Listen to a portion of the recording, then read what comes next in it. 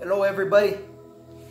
I got another painting I want to reveal to everyone. Man, I love this one so much. I like all of them. It's like everyone is the best one. But I'm fixing to show it to you, and I first want to open up in prayer, and uh, because everything that I paint is God inspired. It's something that the Lord put on my heart. And I want to pray, and I just first want to open up and I want to share my heart and just show it to you, all right? So if you would, just please close your eyes right now. Father God, in Jesus' name, Lord, I lift up anybody watching right now, Father. I pray, Father God, that these paintings, Lord, that you told me to paint, Father God, that these paintings that you inspired me to paint, Father God, would impact and touch lives, Father God, like, like they would never imagine, Lord. I pray, Father God, that these paintings would give inspiration and hope, Father God, and would uh, speak of the gospel, Father, of your Son, Lord.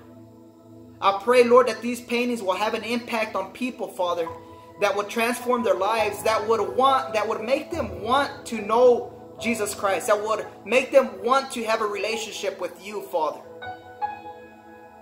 Father, I lift up everybody watching, Lord, and I just speak, Father God, a word of encouragement and hope over everyone. I ask you, Lord, to have your way. Bless all these viewers, Father God. Let them find hope in you, Lord, and assurance, Father God, in your good plan of salvation through the shed blood of Jesus Christ, Lord. Let these paintings glorify you, Father, and let your name be known above all else, Father. I give you the praises and the glory in Jesus' name. Amen and amen. All right, check it out. So I named this painting, I call it uh, Still He Rescued Me. Because in the scripture, it's inspired by Psalms 107. And I'll read it to you real quick. But it inspired me to paint this because there's a scripture that, that when I read, it just really does something in my heart. It's a scripture that talks about even in our own distresses, even in our own iniquities, it says, Still He rescued me. And I dug the grave for myself. And I made a mess of things myself. It says, even in the mess ups that I done myself, still he reached down and rescued me. And so then I want to show you this painting. And I hope that you're blessed, man. I hope, I hope it touches your heart as much as it has mine. I hope that you find inspiration through this. But really, ultimately, I hope that you find a relationship with Jesus Christ. And if you have one already, I pray that this inspires you, man, to be bold for the Lord Tell of the world, tell the world of the good things that God has done in your life. Amen. If you would, check it out. And still he rescued me. Amen. In the depths of our distresses, in the mess ups and the screw ups of our lives, over and over again, we find ourselves calling out to the Lord and saying, God, please I know you've done it before. Would you please do it again? And it says that still he reaches down and he rescues us over and over again. So that's why I did this. The Lord reaching down, pulling us up once again. And he delights and he is pleased by helping you up over and over again. That's what he's there for. He loves you. He knows that you can't get it right. He knows that I can't get it right. He knows that that uh, that we do wrong and we mess up.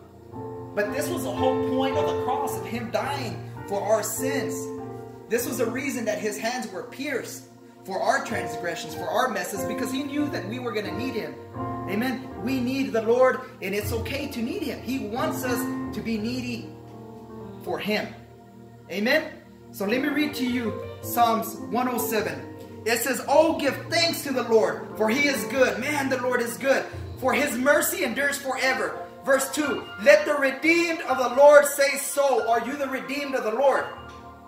It says, Let the redeemed of the Lord say so, whom he has redeemed from the hand of the enemy, and gathered out of the lands from the east and from the west and from the north and from the south. They wandered in the wilderness in a desolate way. Have you ever wandered in a wilderness with no hope, with not knowing where you were or what you're doing or what your purpose is. I've been there before. It says they found no city to dwell in. Hungry and thirsty, their soul fainted in them. Then they cried out to the Lord. It says, then you cried out to the Lord. Amen. It's always now you want to cry out to the Lord. And he's okay with it. There was a time where then I cried out to the Lord.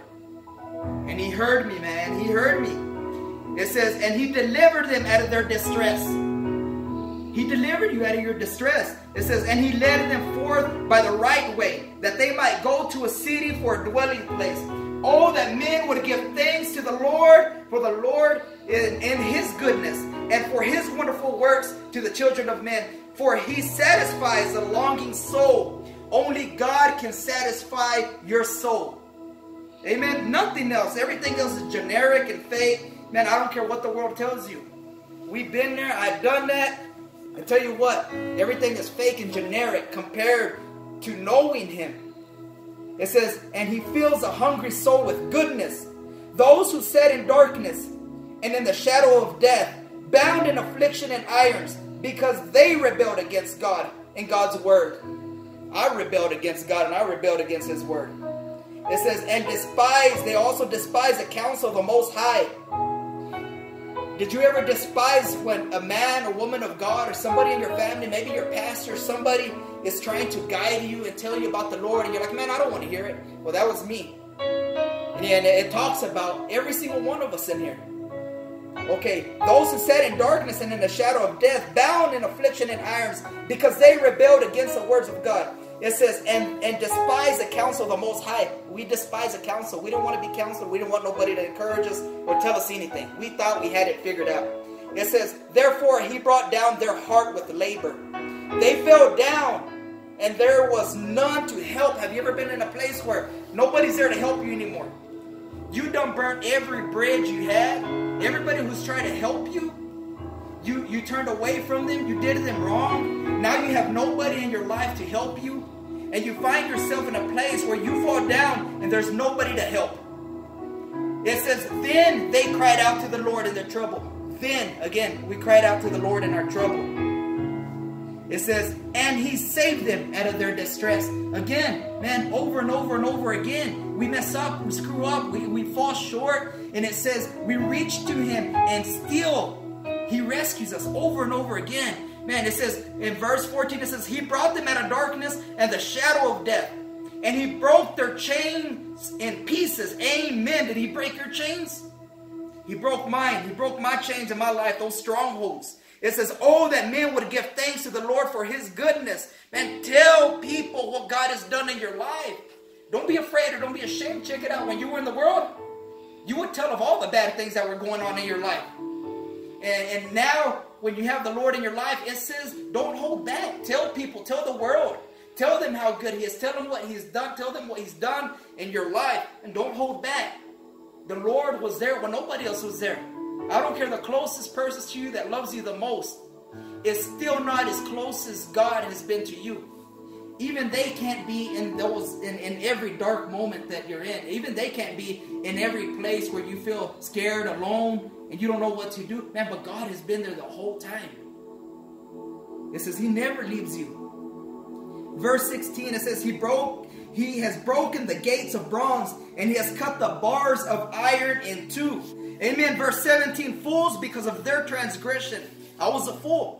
Because of my transgression and because of my iniquities were afflicted. Because of your transgressions and your iniquities, you were afflicted. In other words, because of your own bad decisions, you dealt the consequences, and so did I. Their soul had heard all manner of food, and they drew near to the gates of death. We were to the place of death. I mean, there was nothing good in us. We were headed for destruction, in other words. Verse 19, it says, They cried out to the Lord. Then they cried out to the Lord. Who? Me and you. We cried out to the Lord. Man, I've been there. We cried out to the Lord over and over again. It says, Then again, they cried out to the Lord in trouble. And he saved them in their distresses. Man, do you see a pattern here? The Lord knows you're going to mess up. The Lord knew I was going to mess up. It says, and He still rescues us over and over again. They cried out to the Lord in their trouble, and He saved them out of their distress. Verse 20, He sent, who sent? God sent His word. Who's the word? Jesus Christ. He sent His word, and He healed them, and He delivered them from their destructions. Thank you, Lord. Oh, that men would give thanks to the Lord for his goodness. All he's asking is for us to give thanks to him for his goodness. And don't hold back, man. Don't be ashamed. Don't be afraid. Let people taste and see that he's good. Amen. Our lives aren't perfect. I know that mine's not either. I don't praise Him because everything's perfect in my life. I praise Him because He's God. Because He's God. Amen. It don't matter through the thick and thin, through the good times and the bad times. He is God, and you know what? Somebody said it today. Just Him dying on the cross for my sins and taking my place on that Christ is enough for me. Everything else good that happens is a byproduct of being a child of God. Amen. Oh, that men would give thanks to the Lord for his goodness and for his wonderful works to the children of men. Let them sacrifice the sacrifices of thanksgiving and declare his works with rejoicing. Amen. I wanted to share that with you because that's what inspired me to, to paint this. I'm going to tell you something. It don't matter where you're at in your life. It don't matter what you're going through, what you've been through. It don't matter what it looks like, how bad your situation looks. And nothing's impossible with God. I'm not trying to convince you that you need to serve God. My heart and my prayer is that you be inspired in some way, somehow, that you get that you get encouraged and that you realize, man, that this life was not created for us to live it alone. There's a hole inside of your heart that only God can fill. I can't feel it. Nobody else can fill it for you. Only God can fill it for you. Amen. And He wants to fill that hole in your heart.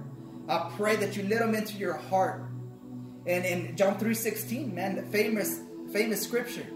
It's just so important and so awesome. And it pretty much ties it all in. In John 3.16, it says, For God so loved the world that He gave His only Son, that whoever believes in Him shall not perish but have eternal life. Have you let the Son of God into your heart? Have you let Jesus Christ into your heart? And I tell you because I love you, man and woman of God. He loves you so much. He wants to turn you into a man and woman of God. If you would, close your eyes.